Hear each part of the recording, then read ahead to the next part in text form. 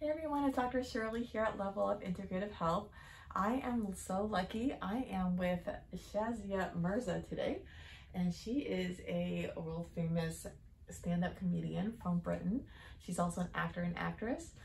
Um, I want to talk about how amazing laughter is for our health.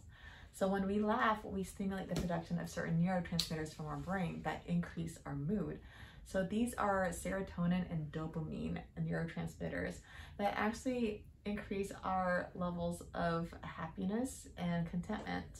Did you know that when you have a group of diabetics and if you put them in two groups, um, one having watched a comedy show for an hour and another one watching a documentary for an hour, um, and then check their blood pressure, I'm not their blood pressure, their blood sugar.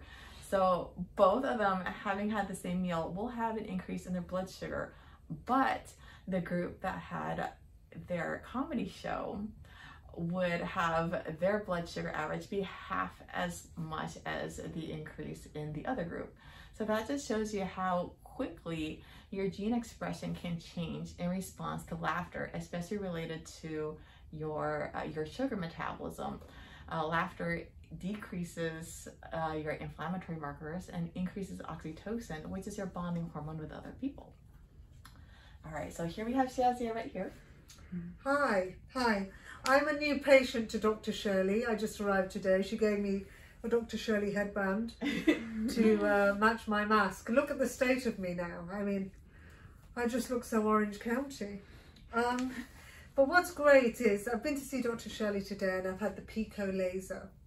As you can see, my skin, I look 12. Basically, the Pico laser, what it does is it burns off the top layer of your skin and um, and you just look 12. So that's what's happened here today. I've had it for the first time.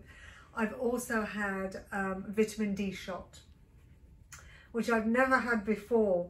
And vitamin D, as we know, comes from the sun and is really important. Uh, it affects our mood and uh, it really helps us, um, you know, be more positive and, you know, just feel better about ourselves. But, you know, being from England, obviously, there is no vitamin D.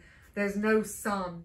It's very depressing, especially at this time. So when I came to see Dr. Shirley, she recommended I have a vitamin D shot.